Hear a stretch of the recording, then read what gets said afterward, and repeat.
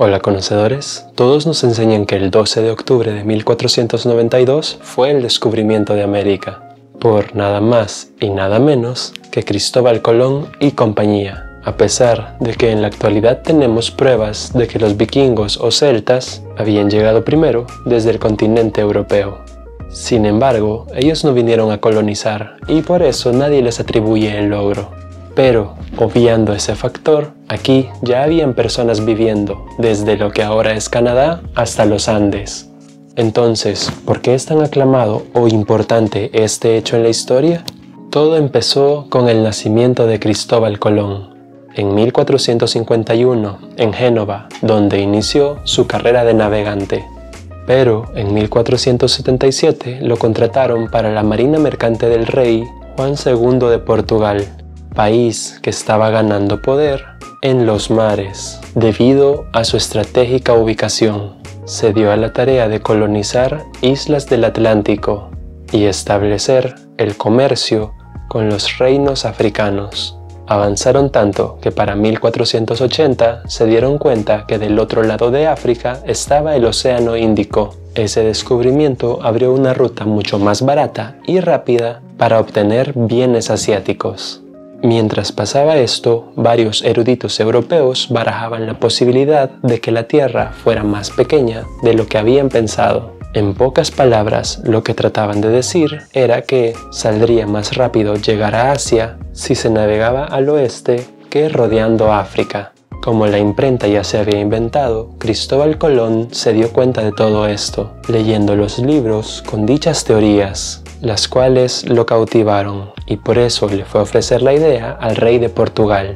Pero él no estaba convencido con esta teoría, así que también probó suerte con los reyes de Inglaterra, de Francia y España, todos dándole una negativa, hasta 1492, cuando los reyes de España, Fernando e Isabel, decidieron financiar tres barcos para el viaje. Pensaron que con esto podrían competir contra Portugal. Y así fue como el 3 de agosto de 1492, la Pinta, la Niña y la Santa María zarparon desde el puerto de Palos. Hicieron una única parada en las Islas Canarias para después navegar durante cinco semanas hasta que el 12 de octubre llegaron a la isla hoy conocida como Bahamas. Como Cristóbal aún estaba con la teoría del mundo pequeño, intuyó que estaba en alguna isla cerca de Japón y por eso llamó indios a sus habitantes, porque en esa época los europeos denominaban así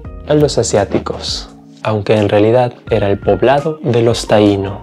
De todas maneras, empezaron a hacer el intercambio de bienes. Lastimosamente, no era lo que esperaban. Sin embargo, algunos andaban con joyas de oro, algo que llamó la atención de Cristóbal Colón, que siguió navegando por las islas aledañas, como Cuba, hasta que la Santa María chocó con un coral de la Española, isla conocida actualmente como República Dominicana y Haití.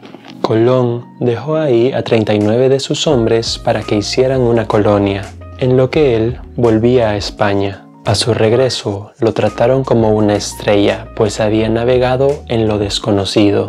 Les enseñó a los reyes los bienes que había recolectado, incluidos un par de taínos que había secuestrado.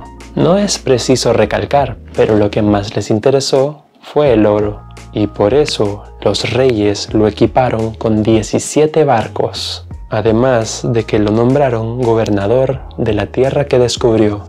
Como era un gran navegante, no se le dificultó encontrar su camino de regreso a la española, pero para su sorpresa los 39 hombres ya no estaban, porque el jefe de una tribu decidió aniquilarlos aunque también se enteraron que el mismo jefe tenía un depósito de oro, por lo que se adentraron hasta dar con dicha mina. Sin embargo, esto elevó las tensiones con la tribu, pero para intimidarlos, Colón capturó a tres de sus capitanes y les voló la cabeza en público, acto que enfureció a los nativos y horrorizó a algunos españoles. En poco tiempo se acabaron todo el oro, y Cristóbal Colón mandó cartas a los reyes, solicitando más ayuda y para poder obtenerla exageró las cantidades de oro que había encontrado.